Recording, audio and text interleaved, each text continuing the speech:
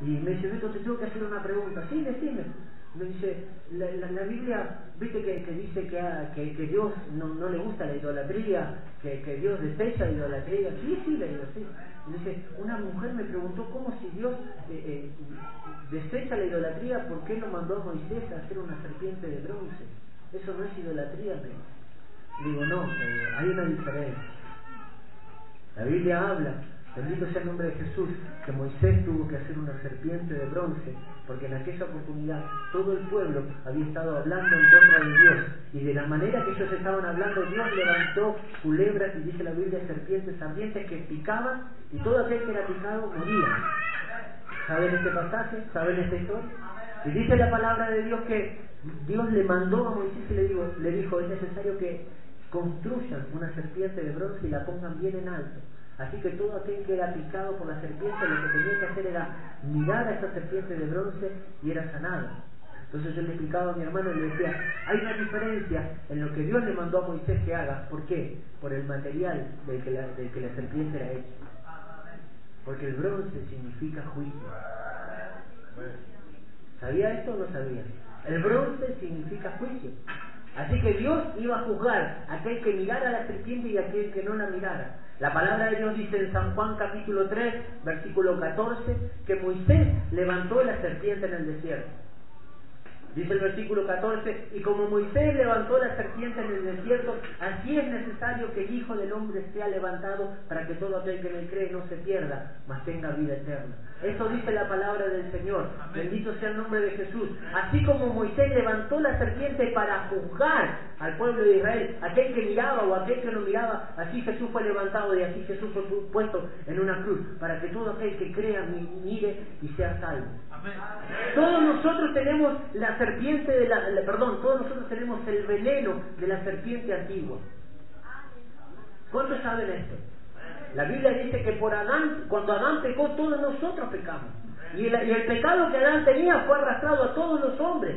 Pero la palabra de Dios dice que vino un segundo Adán, y aquel segundo Adán, que es Cristo, fue puesto en esa cruz. Bendito sea el nombre del Señor, para que todo aquel que me cree no se pierda, sino que tenga vida eterna. Denle un aplauso al Señor en esta tarde. Entonces este hermano me decía, Sí, ¿acaso entonces la, la, la, serpiente no era una idolatría? Dios mandó a hacer, no, Dios mandó a hacer esa serpiente con un propósito. Y Dios fue muy sabio. Porque muchos, y ustedes lo sabrán, cuando ellos hicieron un becerro, ¿de qué material era el becerro? De oro. Entonces hay una diferencia entre hacer algo de oro o hacerlo de bronce. La palabra de Dios cuando, por eso, hermano, yo le digo en esta tarde, cuando Dios pone algo, no lo pone porque sí.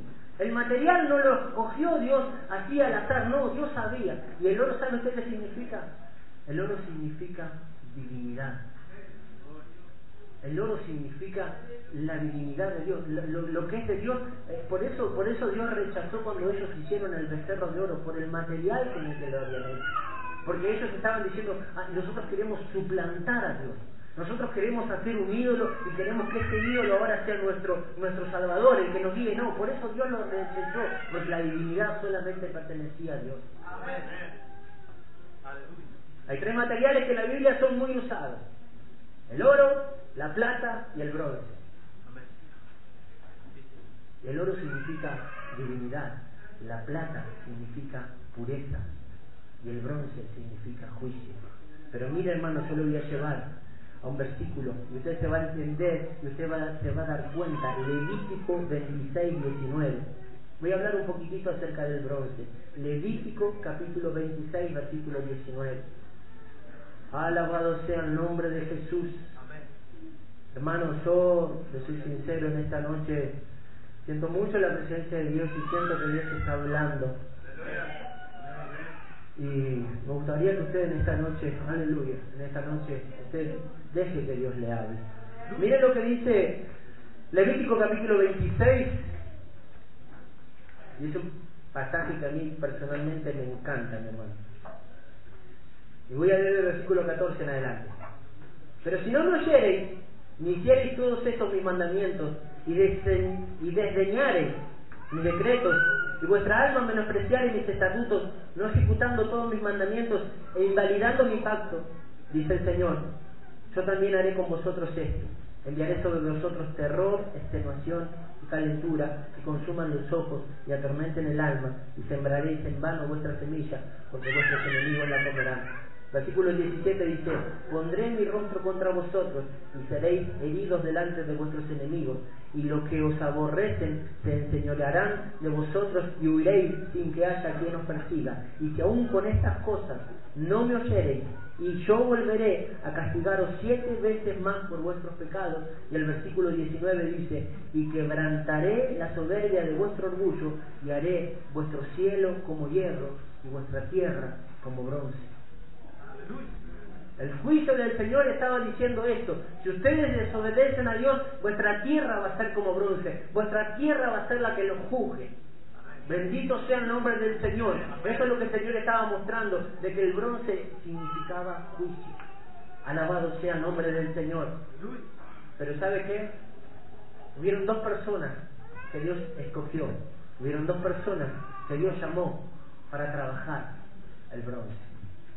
Dice la Biblia que en el libro de Éxodo, alabado sea el nombre del Señor, en el libro de Éxodo dice la palabra del Señor que Dios le encomendó a Moisés y a todo el pueblo que ellos construyeran un tabernáculo. Y uno de los materiales que tenían que trabajar era el bronce.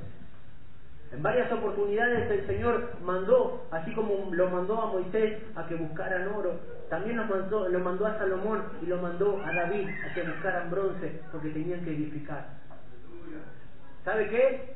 Las dos veces. Las dos veces que Dios mandó, primero a, a, David y la segunda vez que Dios mandó a Salomón a que buscaran y que le pidieran al pueblo que ofrecieran. Muchas oportunidades Dios exigió, Dios pidió y Dios le dijo al pueblo, necesito tal cosa. Y dice la Biblia que el pueblo empezó a traer y a traer y a traer. En una oportunidad Dios dijo, necesito que traigan oro. Y ellos traían oro. En otra oportunidad dijo, necesito, y lo que Dios pedía, el pueblo traía.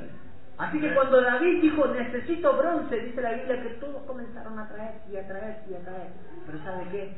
Era tan grande la cantidad que no la pudieron contar. ¿Sabe qué es lo que te quiero decir en esta noche, mi hermano? Espero que usted me entienda en esta noche. Dios necesita poner un juicio. Dios necesita juzgarnos.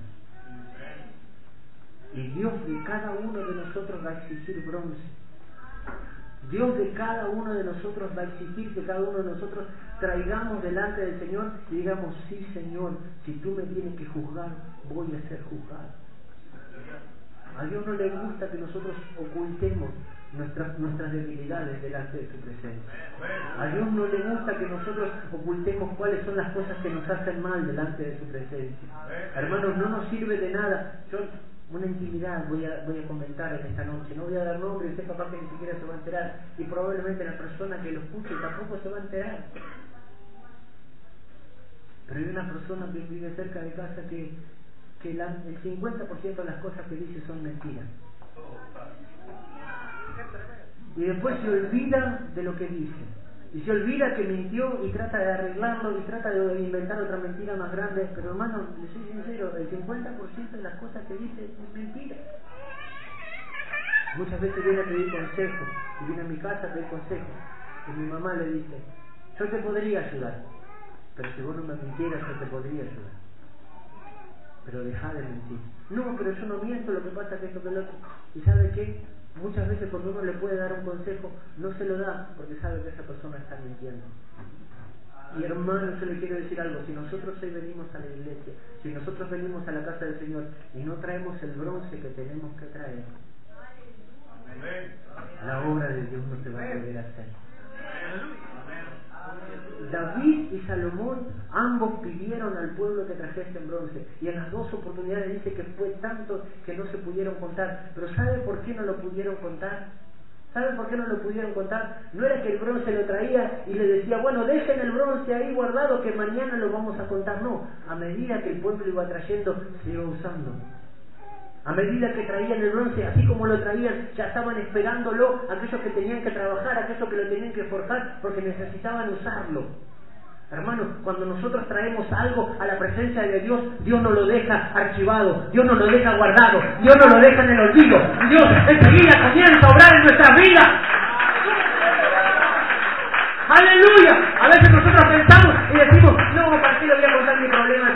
No, ¿para qué me voy a quedar hasta el final del culto? No, ¿para qué voy a ir a la iglesia? Hermano, cuando usted llega con eso delante de la presencia de Dios, Dios ya comienza a trabajar y probablemente antes de que termine el culto, usted ya va a recibir la bendición. Probablemente antes de llegar a su casa, usted ya va a ser bendecido de parte de Dios.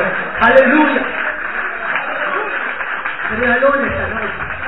En esta noche. Hermano, si nosotros tenemos que ser juzgados por Dios, traigamos todos nuestros sentimientos delante de su presencia. Dice la palabra de Dios en el libro de Éxodo, capítulo 31, versículo 4. Oh Jesús. ¿Sabe que hay algo que yo me gozo mucho en la iglesia? Y no porque esté el pastor y, no, no, no por, por, para que sea grande, ni mucho menos. Hay algo que me gusta de la iglesia, que cada uno tiene su trabajo. Que cada uno tiene su área. Hoy lo escuchaba mi hermano Pablo, que está encargado de la área de, de generar fondos, y me gozaba. Y probablemente hay otro hermano que está encargado de la música, y me gozo por eso. Porque el pastor puede tener su tiempo para hacer otras cosas y para que la iglesia pueda seguir creciendo. Hermano, cuando se le da un trabajo en la iglesia, desarrollese en el área que se le da. Cumpla con su responsabilidad, cumpla con el trabajo, porque Dios lo va a bendecir. Alabado sea el nombre del Señor y la iglesia va a poder crecer. Denle un aplauso al Señor en esta mañana.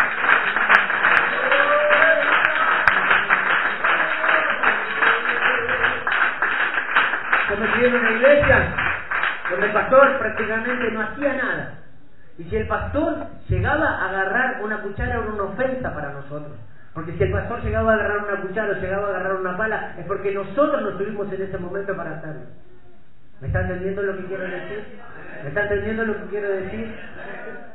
El pastor lo podía hacer, el pastor sabía, pero ¿sabe qué? No tenemos que esperar que el pastor lo haga. No tenemos que esperar que el pastor ah, tome la iniciativa.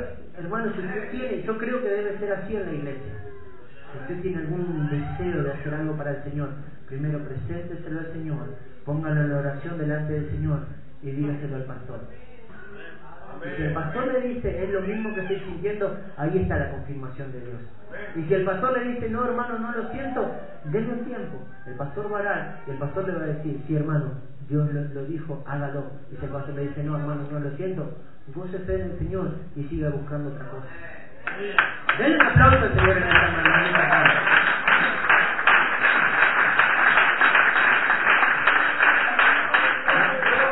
No vine a la iglesia para adorarle la píldora al pastor, se lo estoy aclarando desde ahora. No vine, no vine a la iglesia para quedar bien con el pastor para que me invite de vuelta. No, no, no, no.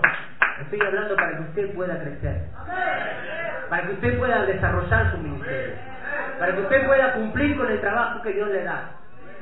Mire lo que dice la palabra de Dios en el libro de Éxodo en el capítulo 31. Moisés era el encargado de dirigir al pueblo. Moisés era el encargado de que todas las cosas se hagan en la iglesia.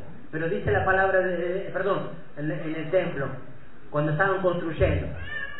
Y dice la Biblia, Éxodo capítulo 31, versículo 1, habló Jehová a Moisés diciendo, mira, yo he llamado por nombre. ¿Me siguiendo? Yo he llamado por nombre a Besaleel, hijo de Uri, hijo de Ur de la tribu de Judá, y lo he llenado del Espíritu de Dios, en sabiduría y en inteligencia, en ciencia y en todo arte. ¿Para qué? Para inventar diseños, para trabajar en oro, en plata y en bronce. Dios le dijo a Moisés, mirá que yo ahora elegí a un varón llamado Betanel y ese varón va a ser encargado porque yo le voy a dar mi espíritu para que empiece a diseñar con el oro, con la plata, con el bronce. Alabado sea el nombre del Señor. Dios va a levantar personas llenas del Espíritu Santo. Dios va a levantar varones. Dios va a levantar mujeres llenos del poder de Dios. ¿Pero para qué? Para saber juzgar, para saber adorar a Dios, para ser puros en su corazón, porque estaba trabajando con el oro, con la plata y con el bronce. Y algo más quiero decir, no mandé traer eso solamente por traerlo. Gloria a Dios. No imagine que esto sea algo macizo. Imagínese que esto es hueco. Imagínese que si yo miro de acá puedo mirar para el otro lado. Imagínese que esto es una calle. Y el varón